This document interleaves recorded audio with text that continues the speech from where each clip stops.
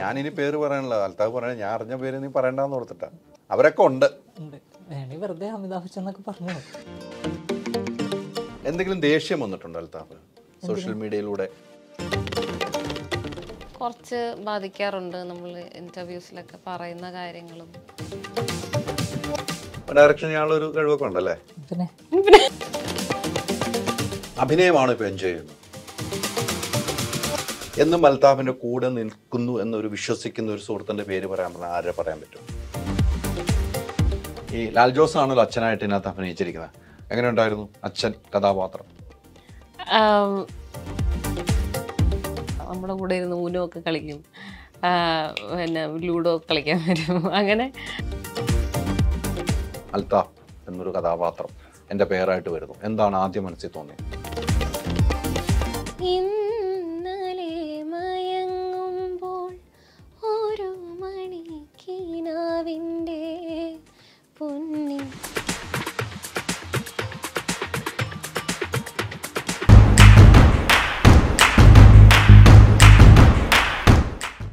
Digital കാര്യങ്ങൾ choose ചെയ്യുമ്പോൾ go the experts Oxygen digital expert. നമസ്കാരം പുത്തൻ സിനിമയുടെ വിശേഷങ്ങൾ പങ്കുവയ്ക്കാൻ രണ്ട് അതിഥികൾ രണ്ടുപേർക്കും സ്വാഗതം. മന്ദാഗിനി മന്ദാകിനി അല്ലേ? ഈ പുയാപ്പിളയും പുയോണ്ണായിട്ടാണ് നിൽക്കണം അതെ.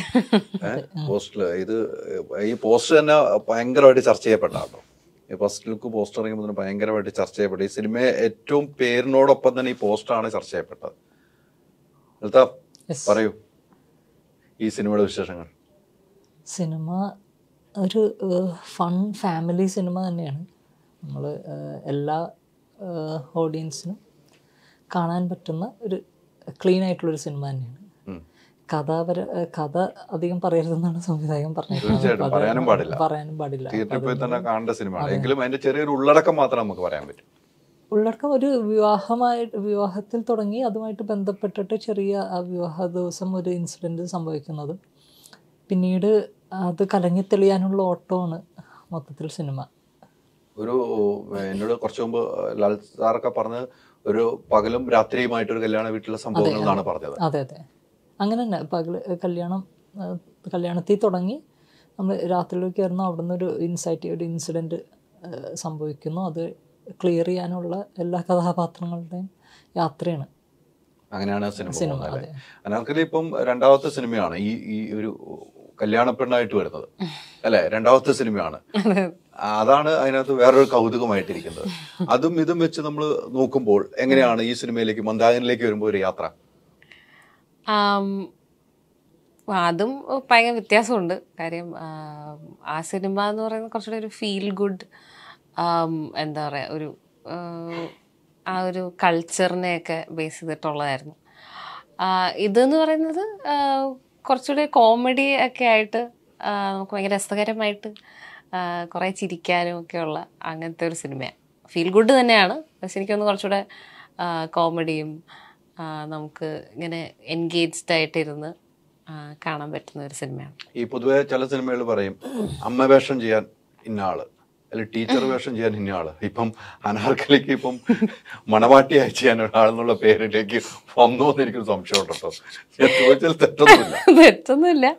അത് ഈ സിനിമ ഞാൻ ആക്ച്വലി ചൂസ് ചെയ്യുമ്പോഴും ഞാൻ ഇങ്ങനെ ദൈവമേ ഇങ്ങനെ കല്യാണം സ്റ്റാർ എന്നുള്ള പേര് വരുമെന്ന്. കാര്യം എനിക്കറിയില്ല. അത് എന്തോ ഒരു കോയിൻസിഡന്റലി സംഭവിച്ചതാണ്. അതുപോലെ ഇഷ്ടമായി വന്നപ്പോൾ എന്തോ കല്യാണപ്പെണ്ണ് തന്നെ ആയിപ്പോയി. പക്ഷെ അത്രയ്ക്ക് ഒന്നുമില്ല. എന്ന് വെച്ചാൽ ഇതുപോലെ സുലിക മനസ്സിൽ ചെയ്ത പോലെ അല്ല കല്യാ ആദ്യത്തെ ഒരു കല്യാണത്തിന്റെ തലേന്നുള്ള സുലിക മനസ്സിൽ കല്യാണത്തിന്റെ അന്നാണ്. അന്നത്തെ കല്യാണം ഇന്നാ നടക്കണം ചെറിയൊരു വ്യത്യാസം. ഈ മന്ദാകിനിയിലാണ് നടക്കുന്നത് ആൾ മാറി അൽത്താഫ് ഒന്നും മാത്രമുള്ളൂ എങ്ങനെയുണ്ട് ആ കഥ? പോയ പോക്ക് എങ്ങനെയാന്ന് ഡയറക്ഷൻ ഒരു കഴിവൊക്കെ ഉണ്ടല്ലേ? പിന്നെ? കഥ കഥ മാറ്റിയില്ലേ? അൽത്താഫ് ഇങ്ങനെ പൊതുവെ ഇങ്ങനെ ഒന്ന് സംസാരിക്കുക അതാണ് എന്റെയും വിഷയം. അൽത്താഫിനെ ഒന്ന് ഒന്ന് ചൂടാക്കി വന്നെങ്കിൽ കുറച്ച് സമയം എടുക്കുകയും ചെയ്യും. ഇങ്ങനെയല്ലോ ഈ സിനിമയിൽ കണ്ടേക്കണേ. സിനിമ കഥാപാത്രമാണ് ഇതിലൊരു കഥാപാത്രം ആകാം നമുക്ക് കുഴപ്പമില്ല. കുറെ സിനിമകളായെങ്കിലും സിനിമ പലതും പല രീതിക്കും ചെയ്തിട്ടുണ്ടെങ്കിലും ഓരോ സിനിമയ്ക്കും അതിന്റെതായ ഒരു ആത്മാവുണ്ട്. അല്ലെ? നമ്മളെ ക്യാരക്ടറിന് അതിന്റെതായ ആത്മാവുണ്ട്. നമ്മൾ ചെയ്ത സിനിമകൾ പ്രേക്ഷകരിലേക്ക് എത്തുമ്പോൾ നമ്മുടെ ആത്മാവാണല്ലോ ആ സംസാരിക്കുന്നത്. ഇതിൽ വരുമ്പോൾ നമ്മൾ ചെയ്ത് ഈ കഥാപാത്രം എനിക്ക് തന്നെ അനാർക്കികളൊപ്പം ചെയ്യാൻ ഒരു പേരായ എന്റെ കഥാപാത്രമാണ്. എനിക്ക് ചെയ്യാമെന്ന് തോന്നാൻ ഒരു ഒരു ഡയറക്ടർ എന്ന നിലയിൽ നിങ്ങൾ ഒന്ന് ആലോചിക്കും. അതെങ്ങനെയാണ് ഉറപ്പിച്ചെടുത്തത്? എനിക്ക് പറ്റിയ കഥാപാത്രമാണിത്. സ്ക്രീൻ പ്ലേ വായിച്ചു. അപ്പൊ അത് അതിന് ഉള്ളടക്കം എല്ലാ പരിപാടിയും നല്ലതായിരുന്നു. പിന്നെ ഹ്യൂമറാണ് ബേസിക്കലി. അപ്പോൾ ഹ്യൂമർ കുഴപ്പമില്ലാതെ ചെയ്യാൻ ഹ്യൂമർ എനിക്ക് ചെയ്യാൻ പറ്റും എന്നൊരു ധാരണ എനിക്കുണ്ട്. പിന്നെ അത് അതാണ് മെയിനായിട്ട് ഞാൻ അങ്ങനെ നോക്കിയുള്ളൂ. എനിക്കത് പുള്ളി ചെയ്യാൻ പറ്റുമെന്ന് ഞാൻ നോക്കിയിട്ടുള്ളൂ. അതുകൊണ്ട് കമ്മിറ്റ് ചെയ്തത്. തീർച്ചയായിട്ടും ഡയറക്ടർ ഡയറക്ടറെ കുറിച്ച് നേരത്തെ അറിയാമായിരുന്നു. ഇല്ല കഥ പറയാൻ വന്നപ്പോഴാണ് ആദ്യമായിട്ട് പരിചയപ്പെടുന്നത്. അല്ല നേരത്തെ അങ്ങനെ പരിചയമില്ല. അനാർക്കലിയുമായിട്ട് നിങ്ങൾ അനാർക്കലിയായിട്ടും നമ്മൾ ഇതിലാണ് പൂജക്കാണ് ആദ്യം ഒരുമിക്കുന്ന ഒരു സിനിമയല്ലേ? അതെ അതെ ആ. സിനിമകളൊക്കെ കണ്ടിട്ടുണ്ടാവുമല്ലോ. കർത്താവിന്റെ സിനിമ ഇവിടെയും കണ്ടിട്ടുണ്ടാവും അനാർക്കലി സിനിമ കണ്ടിട്ടുണ്ടാവും. അനാർക്കലി ഇവിടെ എത്തിക്കഴിഞ്ഞപ്പോൾ അനാർക്കലിയാണ് എന്റെ പേര് എന്ന് മനസ്സിലായപ്പോൾ എന്താണ് തോന്നിയത്? ഇല്ല അങ്ങനെ പ്രത്യേകിച്ചൊന്നും ഇല്ല. നമ്മൾ അപ്പം അഭിനയിക്കാൻ വരിക എന്നുള്ള പരിപാടിയുള്ളൂ അത് രണ്ട് ക്യാരക്ടേഴ്സ് ആണല്ലോ? എന്തെങ്കിലും നല്ല കാര്യമൊക്കെ പറയാം. അതിന്റെ ഇല്ല നമ്മൾ നമ്മളുടെ സീൻസ് നോക്കിക്കൊണ്ടിരിക്കും കാരണം ഒരു- ദിവസം ഷൂട്ട് ചെയ്യണത് രണ്ടോ മൂന്നോ സീനായിരിക്കും ആ സീൻസ് പ്രോപ്പറായിട്ട് ചെയ്യുക എന്നുള്ളതാണ് നമ്മുടെ ദൗത്യം. അപ്പം അതിന്റെ കൂടെ ആർട്ടിസ്റ്റായിട്ട് വരുമ്പോൾ അവരും അവരായിട്ടും കൂടി കുറച്ചുകൂടി ഫ്രണ്ട്ലി ആയിട്ട് നമ്മൾ സംസാരിച്ച് അങ്ങനെ ഒരു എങ്ങനെ ചെയ്യണം എന്നൊക്കെയുള്ള പരിപാടി പ്ലാൻ ചെയ്യാം അങ്ങനെ അല്ലാത്ത വേറെ നമ്മൾ അപ്പോഴാണ് പരിചയപ്പെട്ടത്. പൂച്ചയുടെ പരിചയപ്പെട്ടത്. അങ്ങനെ ഒരു പ്ലാനിങ് ഒക്കെ ഉണ്ടായിരുന്നോ? നിങ്ങൾ ചില സാധനങ്ങളൊക്കെ പ്ലാനിങ് ഉണ്ടായിരുന്നു. ഇങ്ങനെ ചെയ്യും. അങ്ങനെ പിന്നെ അനർക്കയുടെ മീറ്റർ വേറൊരു മീറ്റർ ആയിരുന്നു. മീൻസ് പെർഫോം ചെയ്യേണ്ട മീറ്റർ എനിക്ക് പിന്നെ എനിക്കും വേറെ വിനീത് തട്ടിൽ അങ്ങനത്തെ ആർട്ടിസ്റ്റിനൊക്കെ ഹ്യൂമർ എങ്ങനെ വേണമെങ്കിലും ഇടാമെന്നുള്ളൊരു ഇതുണ്ടായിരുന്നു ഒരു ഫ്രീഡം ഉണ്ടായിരുന്നു. അപ്പോൾ അങ്ങനെ തന്നെ പോയേക്കുന്നത്. അങ്ങനെ തന്നെയാണ് പോയിരിക്കുന്നത് എല്ലാം ചുരുങ്ങിയ വാക്കുകളിൽ അവസാനിപ്പിക്കുമ്പോൾ നമുക്ക് എന്തെങ്കിലും സുഖം കിട്ടുന്നുണ്ടോ? ആ ഭയങ്കര സുഖം. അല്ലേ? അല്ല ഉള്ളത് നമ്മൾ ചോദിക്കണമല്ലോ. പക്ഷെ ഇതിൽ നന്നായിട്ട് സംസാരിക്കുന്ന ആളാട്ടോ. ചില ആളുകളുടെ മുമ്പിൽ ഇരിക്കുമ്പോൾ മാത്രമേ ഉള്ളൂ. ഇങ്ങനെ ഒരു പ്രശ്നമുള്ളൂ. എനിക്ക് അങ്ങനെയാണ് കണ്ടിരിക്കുന്നത്. എന്റെ മുമ്പിൽ ഇരിക്കുമ്പോൾ എപ്പോഴും ഇങ്ങനെയാണ്. ഒരു സ്കൂൾ കുട്ടിയെ പോലെ. പക്ഷെ ആൾ വേറെയാണ്. അത് ലൊക്കേഷൻ മനസ്സിലായില്ലേ?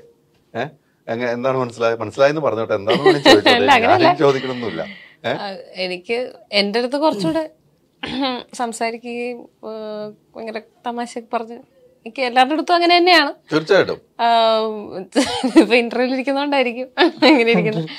അതുപോലെ നമ്മളെ ഞാൻ എന്റെ സിനിമയുടെ പരിപാടിയായിട്ട് നടക്കുകയാണ് അതിന്റെ ടെൻഷൻ ടെൻഷനാണ് മെയിനായിട്ട് കിടക്കുന്നത് ആ, മനസ്സിലതാണ് മനസ്സിൽ സിനിമയാണ്. അപ്പൊ അതിന്റെ നമ്മളൊന്ന് പക്ഷെ മനസ്സിലാ ആ സിനിമ എന്ന് പറയുമ്പോൾ എനിക്കിപ്പോൾ അൽത്താഫിന് ഒരു ബിഗ് സല്യൂട്ട് വരും അൽത്താഫ്. ആ ഇതിലും ഈ സിനിമയുടെ പ്രൊമോഷൻ ഇത് നമ്മുടെ ഒരു സിനിമയാണെന്ന് കണ്ടുകൊണ്ട് വരുന്ന അൽത്താഫിനെ പോലുള്ളവരാണ് എല്ലാവർക്കും മാതൃകയാണ്ടെന്ന് ഞാൻ ഓപ്പൺ ആയിട്ട് പറയുന്ന കാര്യം കേട്ടോ വേറെ ഒന്നുമില്ല വേറെ ഒന്നും വിചാരിക്കുന്നില്ല. അടുത്ത ദിവസം ഷൂട്ട് തുടങ്ങണം. അതിന്റെ ഓരോ ഒത്തിരി പണിയേണ്ട ഒരു ആളാണ്. അദ്ദേഹം ഇന്ന് ഈ സിനിമയ്ക്ക് പ്രൊമോഷൻ വന്നിരിക്കുന്ന സിനിമയോടുള്ള സ്നേഹമാണ്. ഞാൻ അഭിനയിച്ചു പോയത് കൊണ്ട് ആ സിനിമ മാറുന്നില്ല. ഞാൻ അതും കൂടെ ചെയ്യുമ്പോഴാണ് ഇതും കൂടെ വന്ന് ചെയ്യുമ്പോഴാണ് ആ സിനിമ പൂർണമാകുന്ന വിശ്വസിക്കുന്ന അൽതാഫിനെ പോലെയുള്ളവരാണ് മാതൃക മാതൃകയാകേണ്ടത് ഞാൻ. അത് ഞാൻ ഉള്ളിൽ നിന്ന് തന്നെ സത്യസന്ധമായിട്ട് പറയുന്ന കാര്യമാണ്. അതില്ലാന്ന് ഞാൻ പറയാം. കുറച്ച് മുമ്പ് ലാൽ ജോസ് സാറും ഇത് തന്നെ എന്റെ അടുത്ത് പറഞ്ഞിട്ട് പോയ കാര്യമാണ്. പുള്ളിയൊക്കെ പുള്ളിയുടെ ഒരു സിനിമയ്ക്ക് ഒരു ഹീറോനെ പുള്ളിയുടെ ഒരു മെയിൻ നായകനെ വിളിച്ചിട്ട് കരഞ്ഞു എന്ന നിലയിലേക്ക് പറഞ്ഞു ഒന്നും ഒരു പ്രൊമോഷൻ വരാൻ വേണ്ടി. ആ അവസ്ഥ അവർക്ക് വരെ ഉണ്ടായിട്ടുണ്ടെന്നാ പറഞ്ഞത്. ഇതിലൊക്കെ നിങ്ങൾ ചെയ്ത ഒരു മാതൃകയാണ് കേട്ടോ അപ്പൊ അതുകൊണ്ടാണ് കേട്ടോ കൂടുതൽ സംസാരിക്കാത്ത ബാക്കി പറയൂ. അല്ല വേണ്ട. അല്ല ബാക്കി പറയൂ. അൽത്താഫിനെ കുറിച്ച് പറഞ്ഞു വെച്ചാൽ ആ ശരി. ആ അല്ല. അല്ല അൽത്താഫ് ഞാൻ വർക്ക് ചെയ്തതിൽ വളരെ കംഫർട്ടബിൾ ആയിട്ടും എനിക്ക് എന്താ പറയാ ഒന്ന് മൊത്തം നൈറ്റ് ഷൂട്ട്സ് ഒക്കെ ആയിരുന്നു നമുക്ക് കൂടുതലുണ്ടായിരുന്നത്.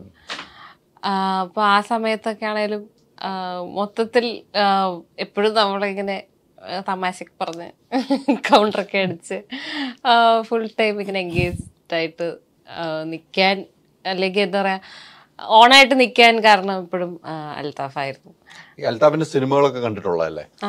എപ്പോഴും ഇഷ്ടപ്പെട്ട ഒരു സിനിമ പറയാൻ പറഞ്ഞ ഏത് പറയും? അൽതാഫിന്റെ. അൽത്താഫ് അല്ല ഒരുപാട് എടുത്തിട്ടുള്ളൂ. അഭിനയിച്ച പടങ്ങൾ അഭിനയിച്ച. ഓക്കെ. അത് ഞാൻ ആലോചിച്ച പ്രേമം ആയിരിക്കും പ്രേമമാണ് ഇഷ്ടം.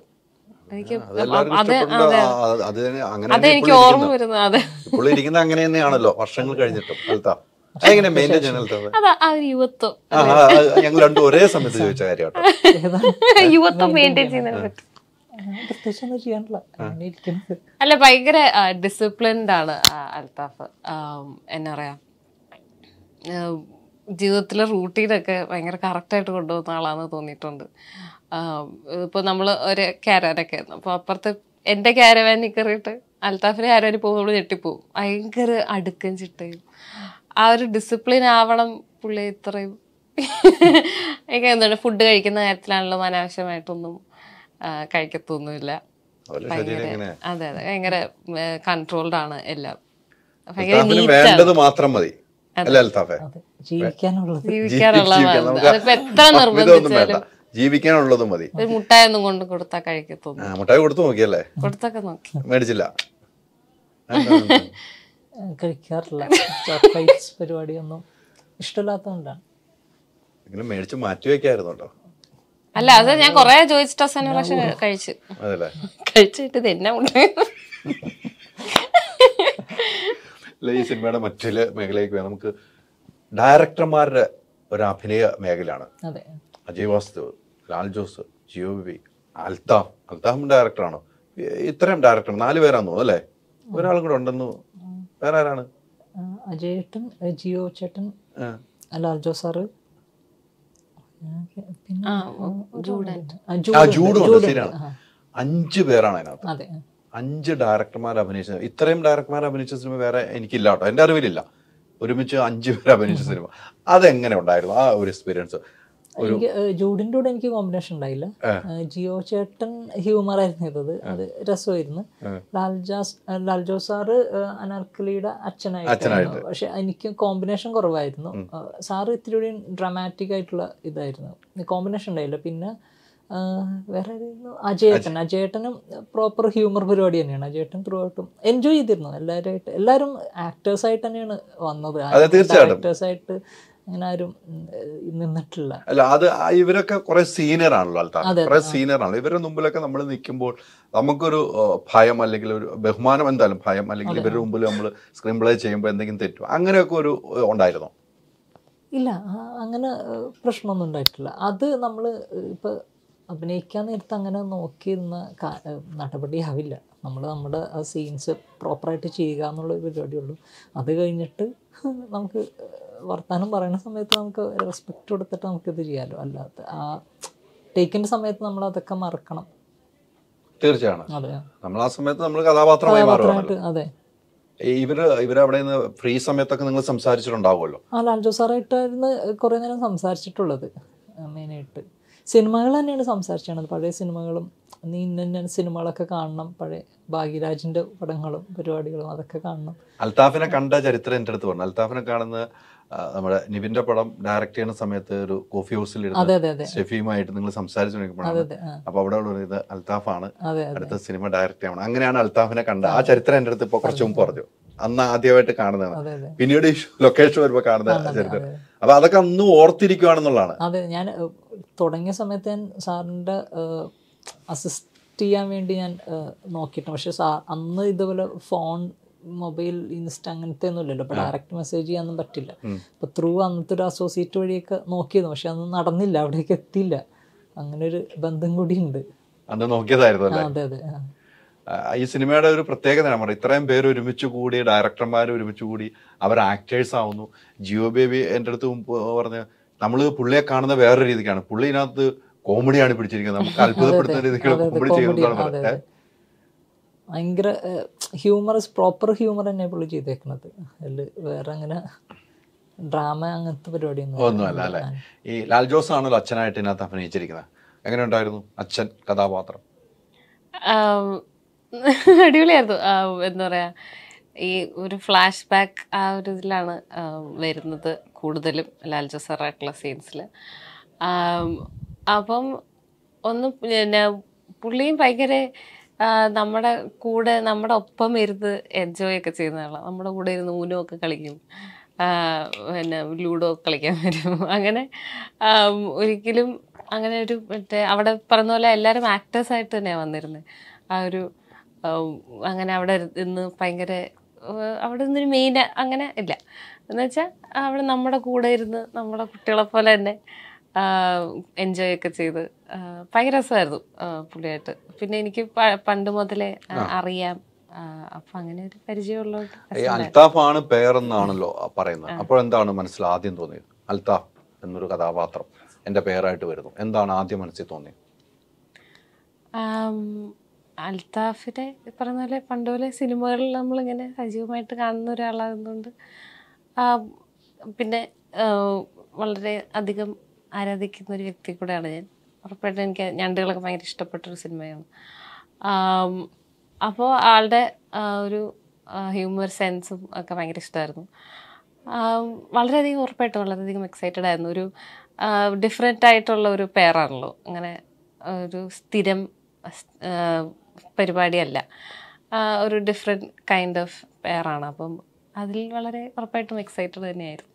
അൽത്താഫിൽ നിന്നും ഉൾക്കൊണ്ട ഒരു പാഠം എന്തായിരിക്കും? ലൊക്കേഷനിൽ ആ ഞാൻ നേരത്തെ പറഞ്ഞ ഒരു ഡിസിപ്ലിൻ എന്നെ ഭയങ്കരമായിട്ട് ഞാൻ പറയുന്ന പോലെ എല്ലാം വൃത്തിയാക്കി ഇടാനൊക്കെ ഞാൻ ശ്രമിക്കാറുണ്ട്. അതിനുശേഷം അതിനുശേഷം?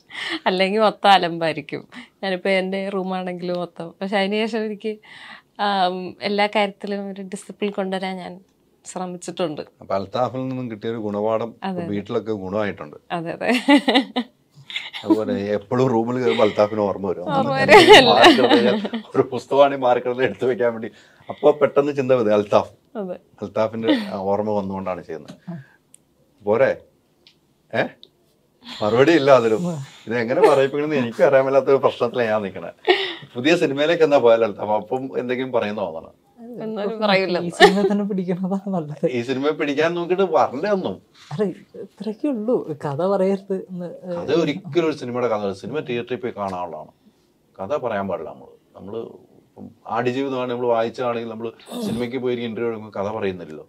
കഥ പറയില്ല നമ്മൾ പക്ഷെ എങ്കിലും ഒരു കഥ എനിക്ക് ഇതിൽ നിന്ന് കേൾക്കണം. ഇപ്പോൾ ഇവിടെ പറഞ്ഞ പോലെ അനാർക്കലിയിൽ ഏറ്റവും ഇഷ്ടപ്പെട്ട എന്താണ് ലൊക്കേഷനിൽ ഇല്ല കറക്റ്റ് സ്ട്രെയിറ്റ് ഫോർവേഡ് ആണ് ഇഷ്ടപ്പെടാത്ത കാര്യം പുള്ളിക്കാരത്തി ഇഷ്ടപ്പെട്ടില്ല എന്ന് തന്നെ പറയും. ഇഷ്ടപ്പെട്ട കാര്യം ഇഷ്ടപ്പെട്ടെന്നും പറയും. പിന്നെ ആക്ച്വലി ഒരു ഡ്രാമാറ്റിക് ഒരു ഷിഫ്റ്റ് ഉണ്ട്. അത് നർക്കിളിയുടെ ക്യാരക്ടറിനാണ് വന്നത്. അപ്പം അതൊക്കെ ഭയങ്കര രസമായിട്ട് പുള്ളിക്കാരത്തി പുള്ളി ചെയ്ത്. അപ്പം അതൊക്കെ ഭയങ്കരമായിട്ട് എൻജോയ് ചെയ്തു. പരിപാടി. അതാണ് ഇഷ്ടപ്പെട്ട കാര്യങ്ങൾ. അതാണ് ഇഷ്ടം. ഇഷ്ടപ്പെടാത്തത് അങ്ങനെയൊന്നുമില്ല. ദേഷ്യം തോന്നിയിട്ടുണ്ടോ? ഇല്ല ഒരിക്കലും എന്തെങ്കിലും ഇപ്പൊ നേരത്തെ പോലെ സ്ട്രേറ്റ് ഫോർവേഡ് ആയിട്ട് പറയുന്നുണ്ട്. അങ്ങനെ എന്തെങ്കിലും അല്ല അങ്ങനെ അൽത്താഫിന്റെ പറഞ്ഞോ? ഇല്ല എന്റെ അടുത്തൊന്നും പറഞ്ഞിട്ടോ. സ്വഭാവം വിളിച്ച് നമുക്ക് മനസ്സിലായതാണ്. അല്ല അങ്ങനെ വെറുതെ ഒരാൾ ഇതിനല്ല ആവശ്യമുള്ള കാര്യത്തിന് പറയും ആവശ്യമില്ലാത്തതിന് പറയും. അങ്ങനത്തെ ഒരു ഇതുള്ളൂ. അത് നല്ല കാര്യമാണ്. അല്ല അൽതാഫിന് ഒത്തിരി ഫ്രണ്ട്സ് ഉണ്ട്. ഒത്തിരി സിനിമാ മേഖലയിൽ ഒത്തിരി ഫ്രണ്ട്സ് ഉണ്ട്. എന്നും അൽതാഫിന്റെ കൂടെ നിൽക്കുന്നു എന്നൊരു വിശ്വസിക്കുന്ന ഒരു സുഹൃത്തിന്റെ പേര് പറയാൻ പറഞ്ഞാൽ ആരെ പറയാൻ പറ്റും? അഖിൽ സത്യൻ എന്തുകൊണ്ടാണ് എന്ന് ചോദിച്ചാൽ? ഇല്ല ഭയങ്കര ആത്മബന്ധമാണ്. അത് അതുകൊണ്ടാണ് നമ്മൾ എല്ലാ ദിവസവും ഫോൺ വിളിക്കുന്നതും നമ്മളെല്ലാം തുറന്ന് സംസാരിക്കുന്നതും നമ്മളെ പറ്റി എല്ലാം അറിയാവുന്നതുമായിട്ടുള്ളൊരു ആളാണ്. അങ്ങനെ ഭയങ്കര സിങ്കാണ് എന്തെങ്കിലും വേണ്ട എന്ന് തോന്നിയ സാധനം നമ്മുടെ കയ്യിൽ നിന്ന് എനിക്ക് വേണ്ടായിരുന്നു. പിന്നീട് അത് വേണമെന്ന് തോന്നി ആഗ്രഹിച്ചിട്ടുണ്ടോ. നമുക്കൊരു സിനിമ ഇതെനിക്ക് വേണ്ട എന്ന് നമ്മൾ വെക്കുകയാണ്. പിന്നീട് അത് വേണമെന്ന് തോന്നിയിട്ടുണ്ട് തിരിച്ചു തോന്നിയിട്ടുണ്ട്. ആക്ട് ചെയ്യാനുള്ളതോ? ഇല്ല അങ്ങനെ ഒന്നും തോന്നിയിട്ടില്ല. ആക്ടിങ് ഈ പറഞ്ഞ അറിയാലോ നമ്മൾ ആക്സിഡന്റലി വന്നതാണ് അതിലോട്ട്. അത് ആഗ്രഹിച്ചിട്ട് അങ്ങനെ വന്നതൊന്നുമല്ല. അങ്ങനെ ഒരു സിനിമ പോയി ഈ സിനിമ കിട്ടിയില്ല എന്ന് അങ്ങനത്തെ ഒരു പോയിന്റ് വൺ പെർസെന്റേജ് പോലും അങ്ങനത്തെ പ്രശ്നം വന്നിട്ടില്ല. അഭിനയമാണ് ഇപ്പോൾ എൻജോയ് ചെയ്യുന്നത്? എൻജോയ് ചെയ്ത് തുടങ്ങിയിട്ട് ആറുമാസമായിട്ടുണ്ടായുള്ളൂ ഇപ്പം ഇനിയിപ്പോൾ ഡയറക്ഷനിലോട്ട് പോകണ കാരണം കുറച്ച് കാലത്തേക്ക് ഡയറക്ഷൻ തീരുന്ന വരെ ഒന്നുമില്ല. അത് കഴിഞ്ഞ് പ്രോപ്പറായിട്ട് നോക്കി ചെയ്യാം നല്ല രീതിയിൽ. നമുക്ക് എപ്പോഴും സേഫ് അഭിനയം തന്നെയല്ലേ? സേഫ് രാവിലെ പോവാ. അങ്ങനെ പറയാൻ പറ്റില്ല. സേഫ് എന്ന് അങ്ങനെ പറയാൻ പറ്റില്ല. രണ്ടും സേഫാണ് രണ്ടും റിസ്ക്കും ഉണ്ട്. രണ്ട് പരിപാടിയിലും. സേഫ് നമ്മൾ നമ്മൾ ചെയ്യണ അനുസരിച്ചിരിക്കും നമുക്ക് കിട്ടുന്ന പ്രൊജക്ട്സ് അനുസരിച്ച് ഇരിക്കും. എല്ലാം സേഫാണോ ഇല്ലേ എന്നുള്ളത്. അത് ചില സമയത്ത് ചില നല്ല പടങ്ങൾ വരും. അതിന്റെ ഒരു ഭാഗമാകാൻ പറ്റും. ഇപ്പം പെട്ടെന്ന് നമുക്ക് ഒന്നുകൂടി ഒരു സ്റ്റെപ്പ് ബൈ സ്റ്റെപ്പ് പരിപാടിയാണ്. പൈസ കൂടുതൽ ഇടണില്ല രണ്ട് ഈക്വലാണ് രണ്ട് അങ്ങനെയാണ് ഇപ്പോൾ അല്ല അത് നമ്മൾ ചോദിക്കണ അനുസരിച്ചിരിക്കും എനിക്ക് ഡയറക്ഷനാണ് പൈസ കൂടുതൽ കിട്ടണത്. റൈറ്റിംഗ് പ്ലസ് ഡയറക്ഷൻ ഉണ്ടല്ലോ. അതാണ് എനിക്ക് പ്രോഫിറ്റബിൾ മറ്റത് നമ്മൾ ടൈം എടുക്കും. പക്ഷേ ഹെൽത്ത് വൈസും ഫിസിക്കൽ ആൻഡ് മെന്റൽ ഇതിന് ആക്ടിങ് ആണ് ബെറ്റർ മറ്റേ നമ്മൾ ഹെവി ലോഡ് പരിപാടിയാണ്. ആ അത് ഉറപ്പാണല്ലോ. രാവിലെ രാവിലെ തന്നെ പോണ ലൊക്കേഷനിൽ പോകണം രാത്രി ഇരുന്ന് ഏടിമാരെ വിളിച്ച് പിറ്റേ ദിവസം ചാർട്ട് ചെയ്യണം. മറ്റേ അഭിനയിക്കാൻ പോകുന്നു നമ്മുടെ സമയത്തിന് പോകുന്നു തിരിച്ചു വരുന്നു. നേരത്തെ ജിയോബൈ പറഞ്ഞു ഈ അഭിനയിക്കാൻ പോയപ്പോഴുള്ള സുഖം ഞാൻ മനസ്സിലാക്കിയെന്താണെന്ന് വെച്ചാൽ പുള്ളി പറഞ്ഞ് സമയത്തിന് നാരങ്ങാവെള്ളം വേണം ചായ വേണം? നമ്മൾ പുറകെ ആളുണ്ട്. കസേര ഇട്ട് തരാണ് പക്ഷെ ഡയറക്ഷൻ പോകുമ്പോൾ ഇതൊന്നും കാണില്ല. നമ്മൾ നമ്മുടെ അടുത്ത് വരാൻ അവർക്ക് പേടിയാണ്. ചിലപ്പോൾ നമ്മൾ ചൂടായിരിക്കുന്ന സമയമായിരിക്കും. നമ്മുടെ മൈൻഡ് അറിയില്ല അവർക്ക്. എന്ന് പറഞ്ഞ ഒരു മൂഡും ഉണ്ടല്ലോ അതിനകത്ത് ഡയറക്ഷൻ ചെയ്യുമ്പോൾ അല്ലേ? അങ്ങനെയാണ്. നമ്മൾ ഉത്തരവാദിത്തം നമ്മൾക്കാണല്ലോ അത്. ആ സിനിമ വർക്ക് ചെയ്യിപ്പിക്കുക കാരണം ഇത്രയും കാശ് ഇൻവെസ്റ്റ് ചെയ്യുന്ന ഒരാളുണ്ട്. അയാൾക്ക് പത്ത് രൂപ പത്ത് രൂപ തിരിച്ചു കൊടുക്കണം. ഇതൊക്കെ നമ്മുടെ ബാധ്യതകളാണ്. പിന്നെ എല്ലാവരും പെർഫോം ചെയ്യിക്കണം. പടം വർക്കാക്കണം അപ്പം അത് വലിയൊരു ഭാരിച്ച ഉത്തരവാദിത്തം തന്നെയാണ്. പക്ഷെ അത് എൻജോയ് ചെയ്ത് ചെയ്യുക എന്നുള്ളതാണ് എന്റെ ആ അതാണ് ഏറ്റവും വലുതാണ്. എൻജോയ് ചെയ്ത് ചെയ്യുമ്പോഴാണ് അതിന്റെ ഒരു ഗുണവും കിട്ടും. ഉറപ്പാണ്. ഒരു കൂട്ടായ്മയിലൂടെ എൻജോയ് ചെയ്യുമ്പോൾ അതിന്റെ ഗുണവും കിട്ടും. എന്താ എന്നാണ് ഷൂട്ടാണ് നമ്മുടെ പുതിയ പടം? നമ്മൾ ഇവിടെ നാട്ടിൽ ഇരുപത്തൊമ്പതാം തീയതി. എവിടേക്കാണ് ലൊക്കേഷൻ എറണാകുളം ചെന്നൈ. ഇത് എത്ര നാളത്തെ പരിശ്രമമാണ് ഇപ്പോൾ? അത് കഴിഞ്ഞിട്ട് കുറേ വലിയ ഗ്യാപ്പാണല്ലോ വന്ന് ഇല്ല അഭിനയം ഉള്ള കാരണം വെറുതെ വലിച്ചവര് ചെയ്യാനുള്ള ഡയറക്ഷൻ നോക്കി കറക്റ്റ് കഥകൾ ഉണ്ടെങ്കിൽ മാത്രം ചെയ്യാനുള്ളൂ. അപ്പോൾ ഇനിയിപ്പോൾ ഇത് കഴിഞ്ഞ് ചിലപ്പോൾ ഇമ്മീഡിയറ്റ് പെട്ടെന്ന് അടുത്ത എവിടെയും തുടങ്ങും. അപ്പം അതിന്റെ പണി പുറയിൽ നടക്കുന്നുണ്ടെന്ന് ചുരുക്കം. ആ ശരി. സ്ക്രിപ്റ്റ് പ്രോപ്പറായിട്ട് വരണം. അതുകൊണ്ടുള്ള കാലതാമസമാണ്. ഈ ഈ ഈ ഡയറക്ഷനിൽ പോയിക്കുമ്പോൾ നമ്മളൊരു സ്വഭാവത്തിനൊരു മാറ്റം വരുമല്ലോ. അഭിനയിക്കാൻ പോകുന്നൊരു സ്വഭാവമല്ലോ ഡയറക്ഷന് പോയിരിക്കും അതെ പറയാറുണ്ടോ ആക്ടേഴ്സ് കൂടെ അഭിനയിച്ചവരും കാണുമല്ലോ. ഇപ്പം നമ്മൾ ഇപ്പം അനാർക്കലി നിങ്ങൾ ഒരുമിച്ച് അഭിനയിച്ച. ഇപ്പം അനാർക്കിലി അവിടെ ഡയറക്ഷനിലെ ഭാഗത്തേക്ക് വരാണ്. എന്ന് വെച്ചാൽ അൽത്താഫ് ഡയറക്ടറിന്റെ സിനിമയ്ക്ക്. അപ്പോൾ ഒരു വ്യത്യാസം ഉണ്ടാവുമല്ലോ.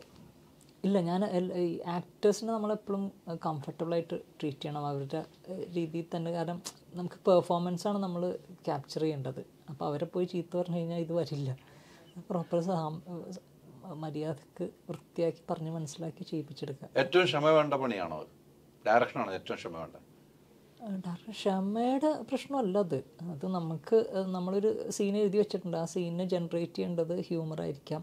ഇമോഷൻ എന്താണോ അത് ഇവരെ ഇത്ര അഞ്ച് പേരുണ്ടെങ്കിൽ അഞ്ച് പേരെയും ഒരേ ട്രാക്കിൽ കൊണ്ടുപോയി അത് ചെയ്യിപ്പിച്ചെടുത്ത് ആ സീൻ വർക്കാക്കുക അത്രേ ഉള്ളൂ. അതിന് ക്ഷമ വേണമെങ്കിൽ ക്ഷമയായിരിക്കാം. എന്താണ് വേണ്ടത്? അതാണ് ഒരു സൗമ്യമായിരിക്കും അവിടെയും ഈ ഡയറക്ഷന്റെ ഭാഗത്തിലും. തീർച്ചയായും. എനിക്ക് ഒച്ചെടുക്കുന്ന ഇഷ്ടമല്ല. ഒരാളും ഒച്ചെടുത്ത് ചീത്ത വിളിക്കുന്നതോ തെറി വിളിക്കുന്നതോ സെറ്റിൽ നോട്ട് അലൗഡ് എല്ലാവർക്കും അതിന്റെ ഇൻസ്ട്രക്ഷൻ കൊടുത്തിട്ടുണ്ട്. അത് എങ്ങനെ മുന്നോട്ട് പോകുമ്പോൾ അപ്പോൾ നമ്മളൊരു ലൗഡാവേണ്ട സ്ഥലത്ത് ലൗഡാവണ്ടേ അങ്ങനെ തുടങ്ങിയത്. മനുഷ്യന്മാരങ്ങനെയാണല്ലോ.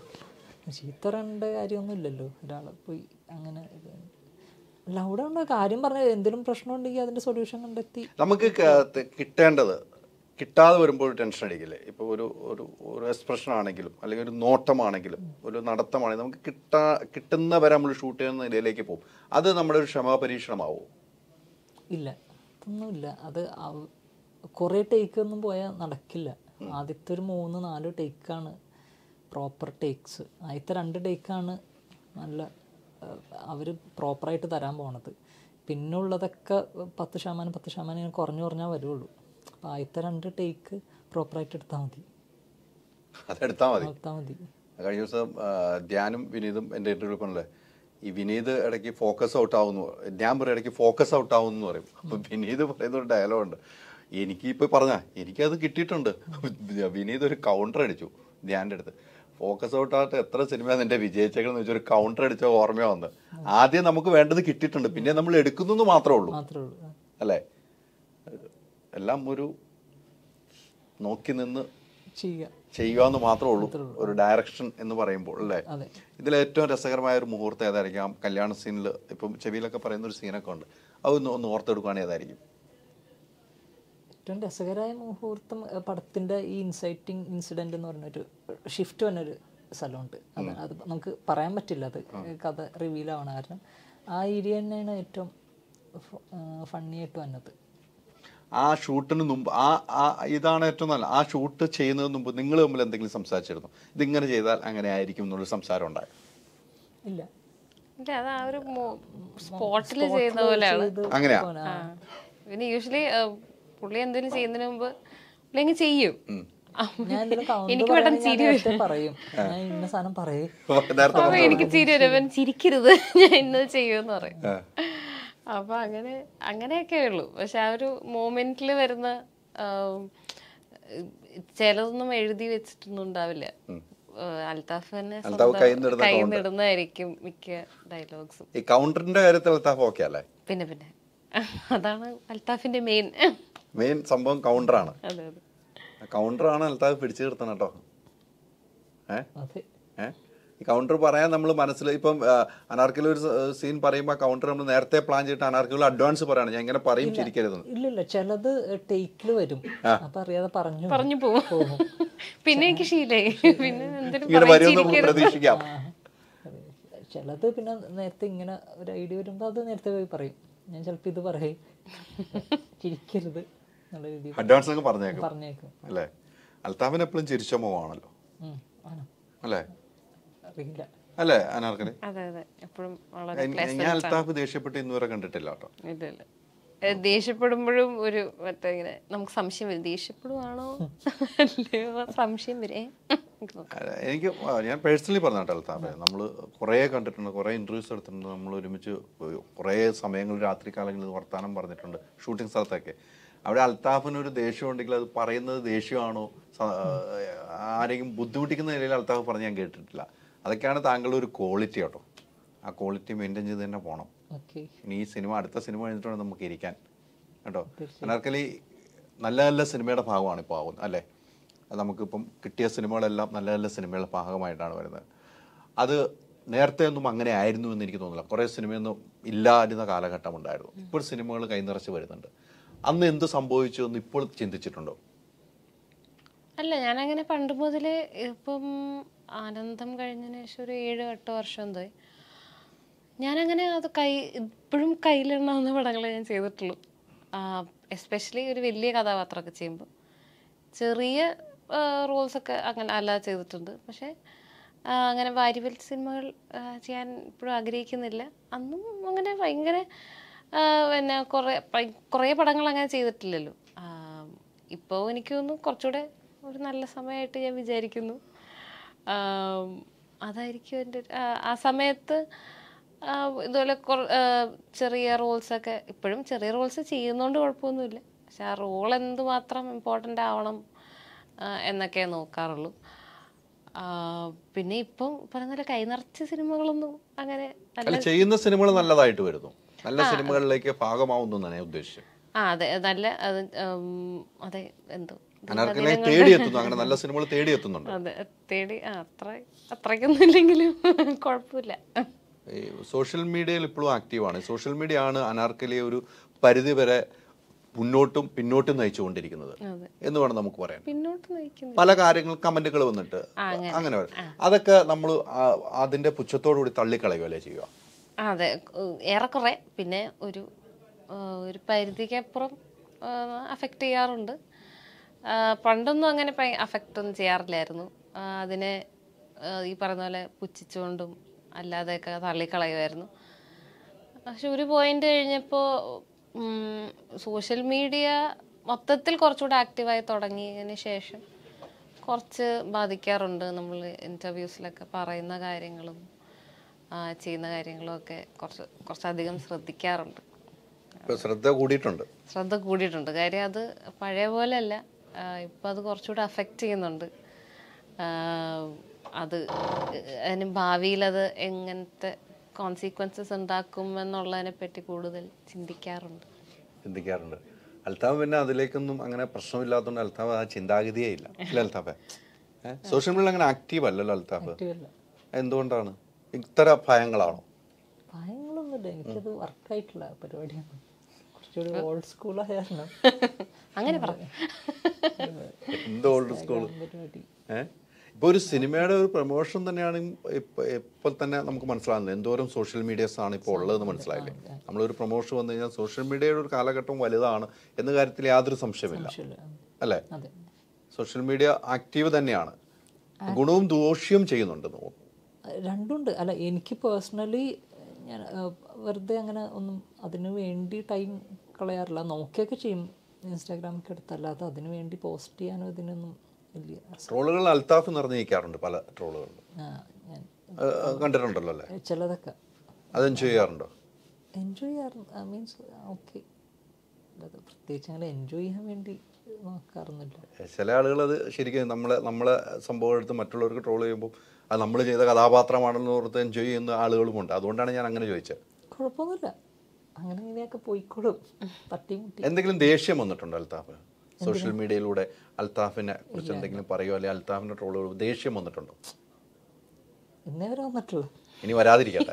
വരാതിരിക്കട്ടെ. അല്ലേ? തീർച്ചയായും ഇനി വരാതിരിക്കട്ടെ. എന്തായാലും ഈ സിനിമ സൂപ്പർ ആകട്ടെ മന്ദാകിനി ഈ പറഞ്ഞ പോലെ ഒരു ടൈപ്പ് കഥാപാത്രമല്ല. ഇപ്പം രണ്ട് സിനിമയിൽ വന്നപ്പോൾ ഇങ്ങനെ ഞാൻ ചോദിച്ചു എന്ന് മാത്രമേ ഉള്ളൂ. ഇങ്ങനെ തേടിയെത്തുന്നു സ്വയം തോന്നി തോന്നിയെന്നും പറയുന്നുണ്ട്. ഒരു മനോഹരമായ ഒരു രണ്ട് ലൈൻ ഗാനത്തോടുകൂടി നമുക്ക് അവസാനിച്ചാൽ അൽത്താഫ് കൂടുമെന്നാണ് എനിക്ക് തോന്നുന്നത്. ഞാനിവിടെ ഇരിക്കാം. ഞാനിവിടെ ഇരുന്നോളാം. വെള്ളം കുടിച്ചോളാം പാട്ട് പാടും? നമുക്ക് രണ്ടുപേർക്ക് ആസ്വദിക്കാം. പാട്ട് പാടി നമുക്കറിയാമല്ലോ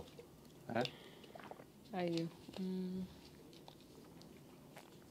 കഥാപാത്ര ഒരു കാര്യം കൂടി ചോദിച്ച ആർട്ടിസ്റ്റ് ഈ ആർട്ടിസ്റ്റൊക്കെ എല്ലാം കഴിഞ്ഞില്ലേ? സിനിമയിൽ നമ്മുടെ സിനിമയിലെ? അതെ അതെ ആ.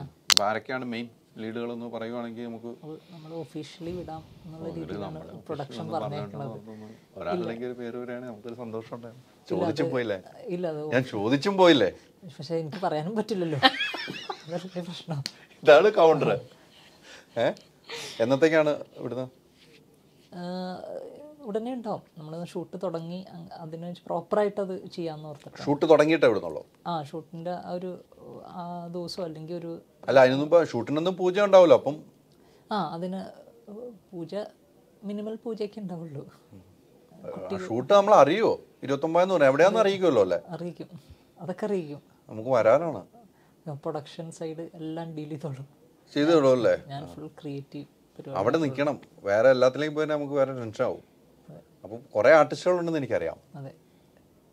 ഞാനിനി പേര് പറയാനുള്ള അൽത്താഫ് പറയണ ഞാൻ അറിഞ്ഞ പേര് നീ പറയണ്ടെന്ന് ഓർത്തിട്ടാ. അവരൊക്കെ ഉണ്ട്. വേണി വെറുതെ അമിതാഭ് ബച്ചൻ എന്നൊക്കെ പറഞ്ഞു നല്ല നമ്മൾ പല ഇന്റർവ്യൂ നമ്മൾ ചോദിച്ചാണല്ലോ ഈ ഒരു സിനിമ എന്നാ എന്നാണ് നമ്മൾ ആകാംക്ഷയോട് കാത്തിരിക്കുന്ന സിനിമയാണ് അൽത്താഫ്.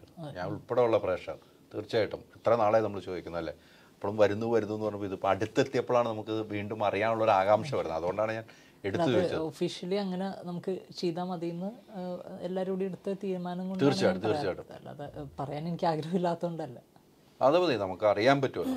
നല്ലൊരു സിനിമയായിട്ട് അൽത്താഫ് അത്. താങ്ക് യു നമ്മൾ അന്ന് തന്ന സിനിമയ്ക്ക് അപ്പുറത്തേക്ക് അതിന്റെ അപ്പുറം വിജയം ഉണ്ടാകുന്ന ഒരു സിനിമയായി മാറണം. അതുകൊണ്ട് ഞാൻ ഈ സമയത്തൊന്ന് പറയുകയാണ് കേട്ടോ.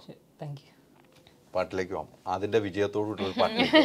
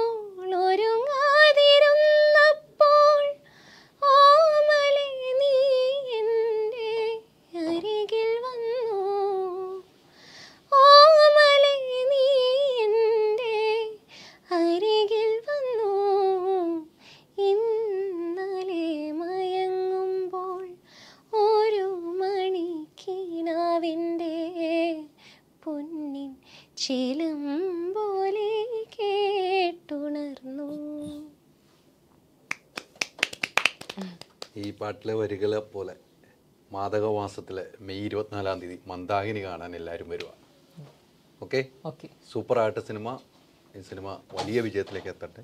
അൽത്താഫിന്റെ പുതിയ പ്രൊജക്റ്റും വലിയ വിജയത്തിലേക്ക് എത്തട്ടെ. എല്ലാവിധ ആശംസകളും. Thank you thank you digital കാര്യങ്ങൾ ചൂസ് ചെയ്യുമ്പോൾ go the experts Oxygen digital expert